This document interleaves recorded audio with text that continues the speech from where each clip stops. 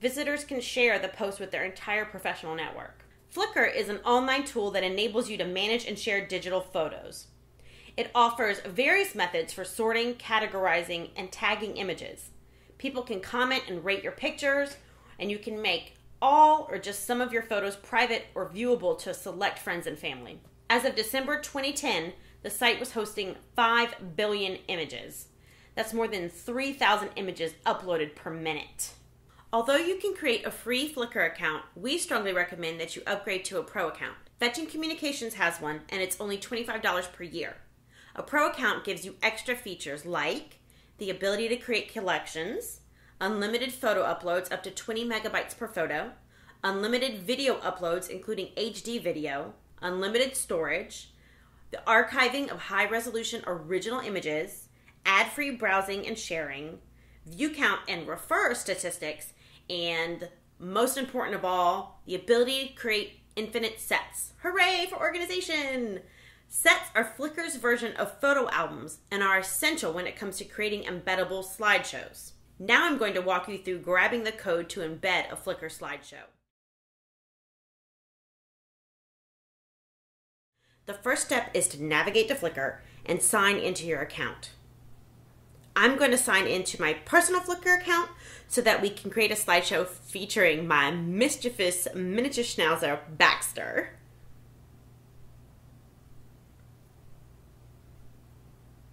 Your photo stream contains all of the photos you have uploaded to Flickr, but for this example, we want to create a slideshow of a specific set.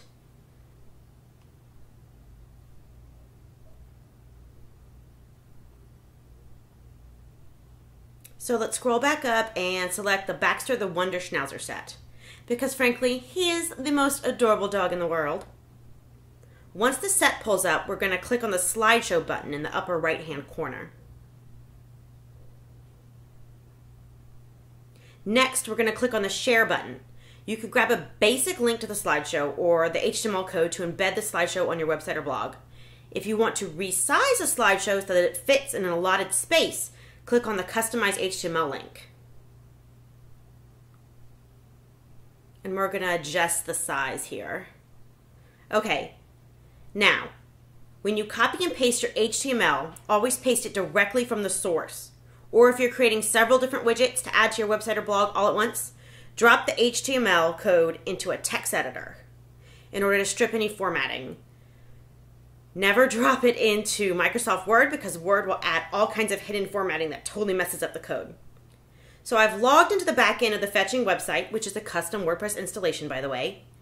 And I want to add this slideshow to a page on our website. So let me navigate to the pages and then where do we want to put it?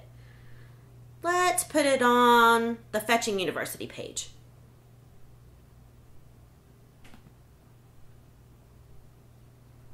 Okay, I'm going to make sure to click over to the HTML editor, grab the code from my text editor, and then paste it onto the page. Let's put it at the bottom.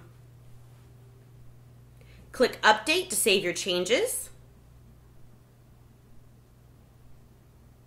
And then Preview to make sure the slideshow posted correctly. There it is. Ta-da!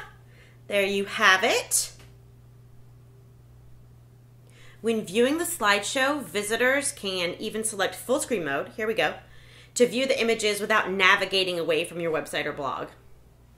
The only other official widget Flickr offers is a rather basic photo badge. It's incredibly simple, but it gets the job done. You can choose either an HTML or Flash badge. Just keep in mind, however, that Flash applications aren't viewable on iPhones because Apple and Adobe, they don't get along. You can also choose the number of photos displayed, what content is displayed, the orientation, either horizontal or vertical, so it fits best on your website or blog, and even the background color. However, this is one case where I suggest you skip the official widget and opt for a user generated widget. Flickr has an open application programming interface, API for short. This means that anyone can write their own program to remix Flickr data, like photos, video, tags, profiles, or groups, in new and different ways. Flickr relies heavily on its community of users to develop and distribute widgets. These offerings can be found in a section of the site known as the App Garden. This is where developers can showcase and share the applications they've created. My favorites include the Flickr Badge Maker and the Pictobrowser slideshow widget.